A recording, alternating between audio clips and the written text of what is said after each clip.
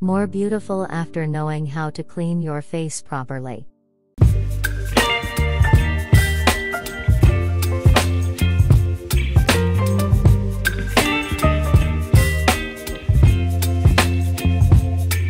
Baby, you give me ice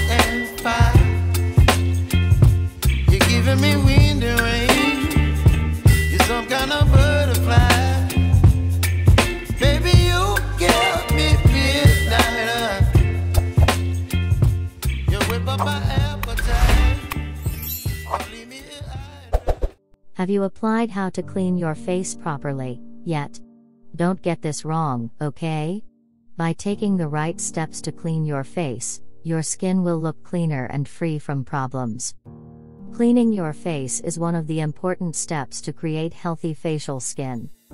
This habit can prevent the appearance of acne, overcome dull skin, and prevent premature aging. However, in fact, there are still many people who underestimate it and do it the wrong way, for example, rubbing their face too roughly or drying their face carelessly. Here's how to clean the right face. So that you can look beautiful with clean and healthy skin, pay close attention and do the following ways to clean your face. 1. Use makeup remover. Do you think that washing your face with soap is enough to make your face clean? If the answer is yes, then you are wrong.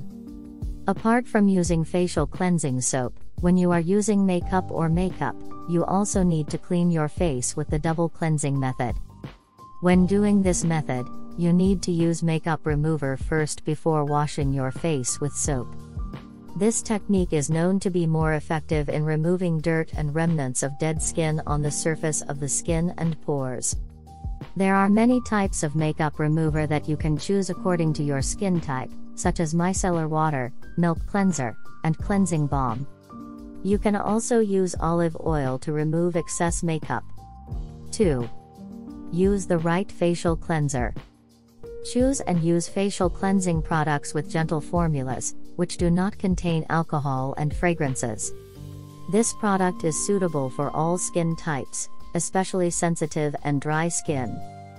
If your skin is oily or has acne, you can also choose products that contain salicylic acid.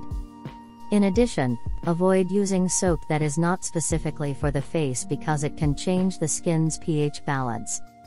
3. Wash your face gently. Instead of making your face clean, scrubbing your face too roughly can actually damage the outer layer of the skin. Especially if you do it for a long time, it can interfere with sebum production, make the skin dry, and trigger irritation. So, if you wash your face, just rub it gently, okay? It doesn't take long either, just 30 seconds. You can use cold water or warm water to rinse your face. However, don't use hot water, because it can dry out your facial skin. 4. Dry your face. Letting water dry by itself after washing your face is not a good habit, you know.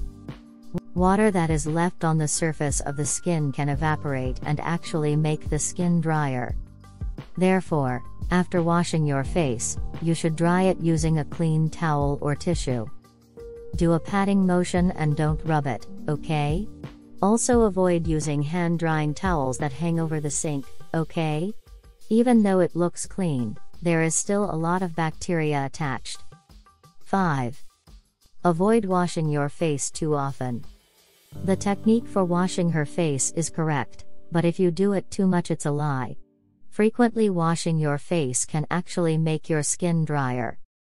This also applies to facial exfoliation, yes.